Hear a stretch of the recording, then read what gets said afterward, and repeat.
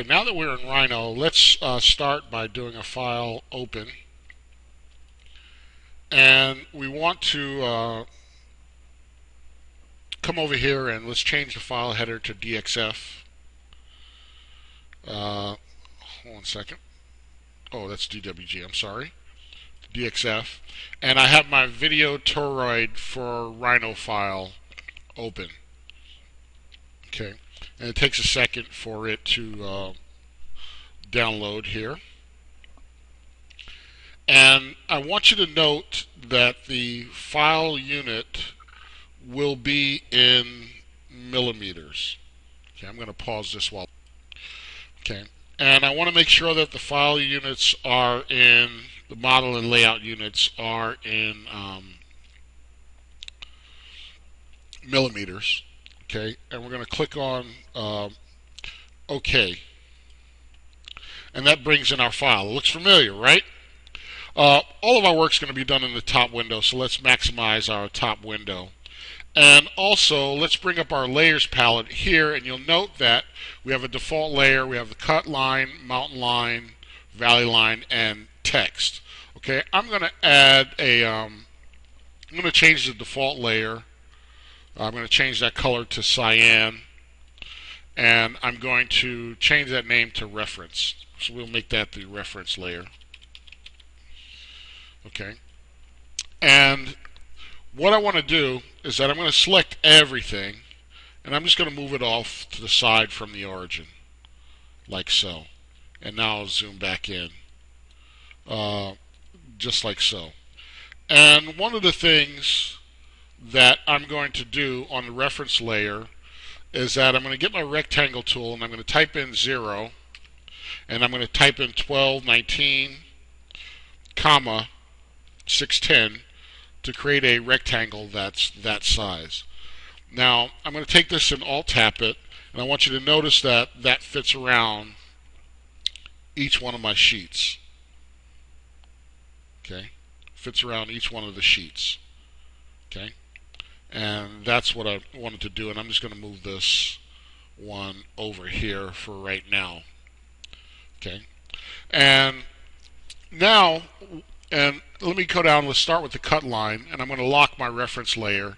And now we have to go through the process of formatting each of our layers for um, laser cutting. And basically, what happens is that let's take our cut line. First of all, you notice that all the layers are black. Okay, and if I were to do a a select objects on my cut lines layers, you notice that up top here it tells me that 616 block instances have been added to the selection. What I need to do is that I need to turn those block instances into curves. Okay, and the way that I do that is by using my explode tool. And I explode it, okay? And now if I were to look at it in my properties, it's 616 open curves, which is what I want.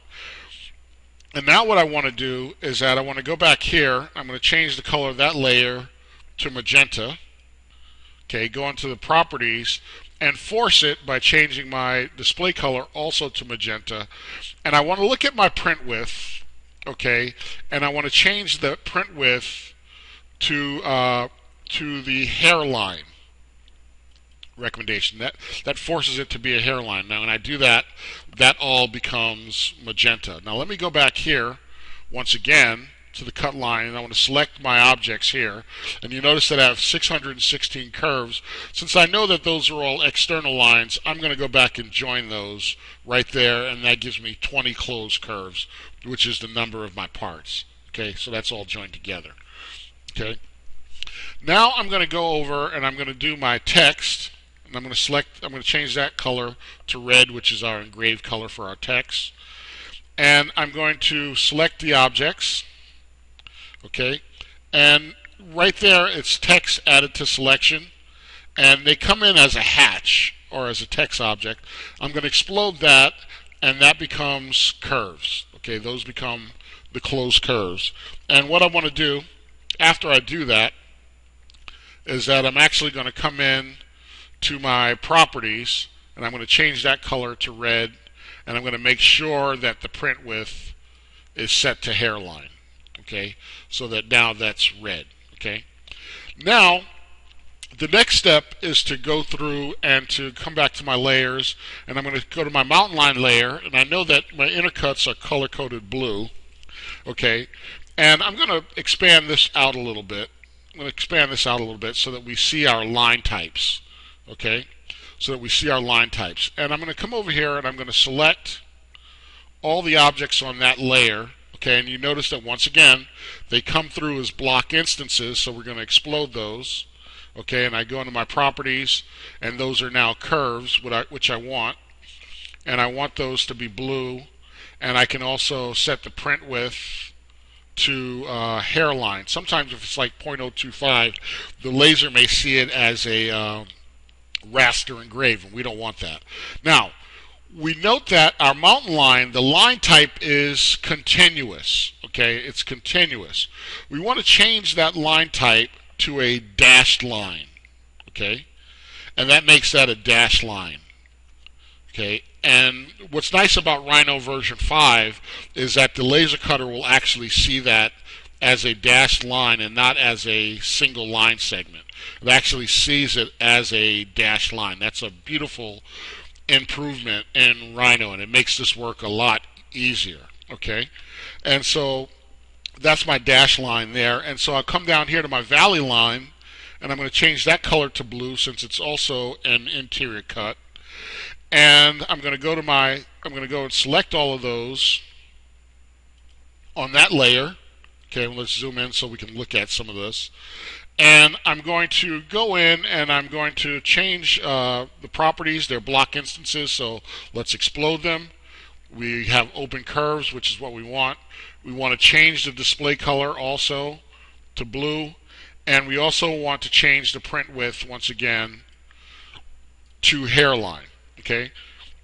We go back to the layers now and we want to change this from continuous to a dash dot pattern.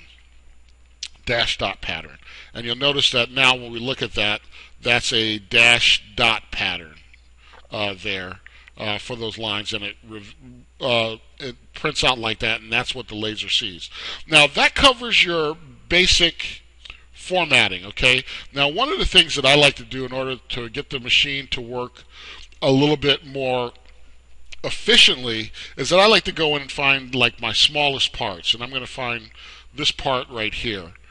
And what I would like to do is maybe is to do a slight adjustment to make uh, this work because this is a lot of work and it makes the laser cutting go a lot uh, quicker when when doing these dash and dot lines. So I'm going to come into my options and I'm going to come into my annotations open that up and I'm going to go into line types.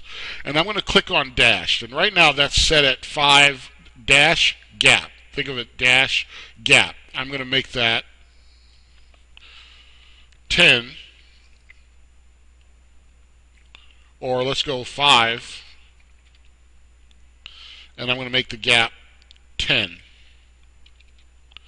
so that way it has to do um, half as many and I'm going to do OK and I'm going to look to see for two things. Are there any pieces that are getting cut by that uh, because the the gap size is too big? And also I want to make sure that there's like a sort of like a a 60-40 relationships between dash or cut and paper that's left behind. When it's really tight like this sometimes with some of your cardboard or paper stocks, it can cause that to break off. So I'm going to come back up here again and I'm going to check on my dash dot line and I'm going to change that value from this is sort of like dash gap dot gap. I'm going to change my gaps to 4 millimeters.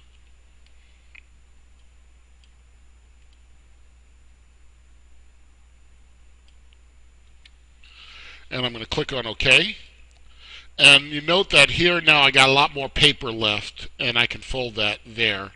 And that's working out really good and that's really clean.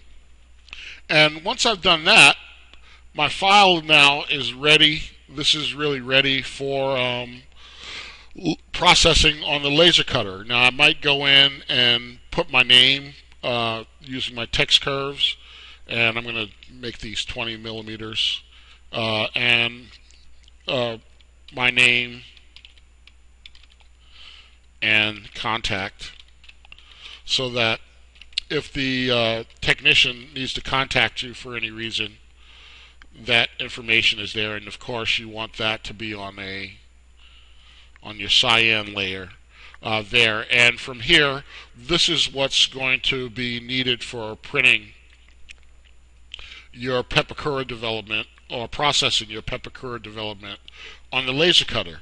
And that completes uh, the formatting of your files uh, from Pepakura, your models from Pepakura uh, workflow through formatting them for laser cutting. I hope this has been helpful, and I may produce a couple um, additional tutorials that deals with uh, specific aspects of this process in a li- little more detail, um, uh, so that um, we can uh, really uh, cover this cover this area in a comprehensive way. But this should be helpful.